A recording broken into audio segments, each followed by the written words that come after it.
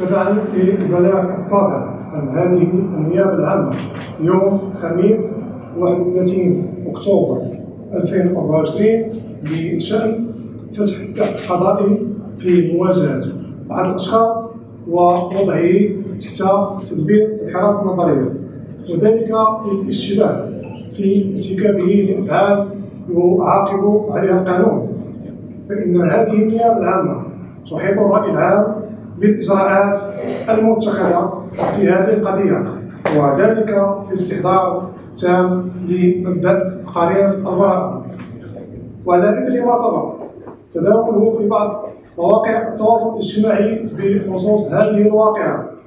عملت هذه النيابة العامة على تتبع الإجراءات المتعلقه بالبحث لدى مصالح الشرطه القضائية وتكريسا الدستوري المتعلق بالحق في الوصول إلى المعلومة واستحضارا للدور المنوط بها في إطار تطوير الراي العام بخصوص القضايا التي قد تستاثر باهتمامه وفق ما دافت عليه في العديد من القضايا التي تحرص فيها على التواصل.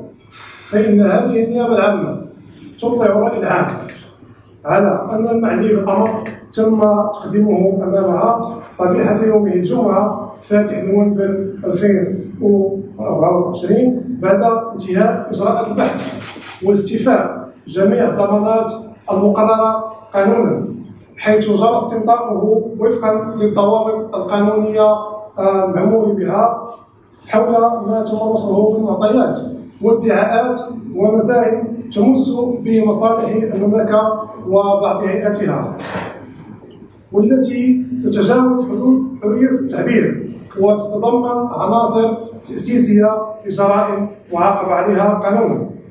وفي هذا الإطار تؤكد النيابة العامة على أن المعني القمر تم تمتيعه بكافة الضمانات والحقوق التي يخولها لها القانون سواء من خلال البحث معه قبل الشرطة القضائية حيث تم إشعاره بأسباب إيقافه وإشعار عائلته بذلك وكذا إشعاره بحقه في التزام الصمت وبكافة الحقوق التي يخولها القانون أو خلال استنطاقه من قبل النيابه العامة. وبعد انتهاء إجراءات استنطاقه قامت هذه النيابه العامه متابعته من أجل الاشتباه في ارتكاب الافعال التاليه اهانه هيئة منظمة ونشر ادعاءات كاذبة.